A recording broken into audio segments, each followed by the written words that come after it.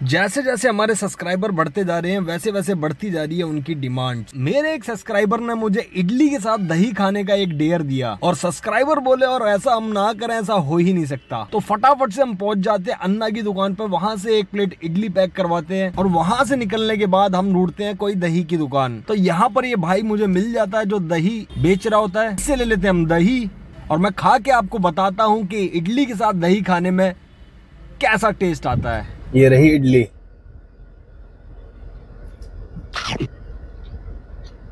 हम्म। उसको, इसके साथ खा के देखते हैं कैसी लगती है। आजा आजा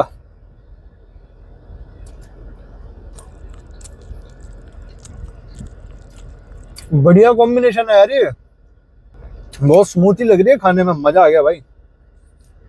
किसके दिमाग की उपज होती है कैसे कैसे चैलेंज देते हो यार। बस सचमुच मज़ा आ गया यार। Mind blowing mind blowing taste है भाई इसका। किसने दही के साथ ट्राई करी है इडली। आज तक कमेंट में ज़रूर बताओ। जिस भाई ने मुझे दही के साथ इडली खाने का चैलेंज दिया था ना भाई, उसको दिल से थैंक यू यार। क्रीमी क्रीमी फ्लेवर आ रहा है, बिल्कुल खाने में ज़बरदस्त मज़ा आ रहा है इसको। एक नंबर एक नंबर एक नंबर। किस किस ने दही के साथ इडली खाई है? मैं कमेंट करके बताएँ।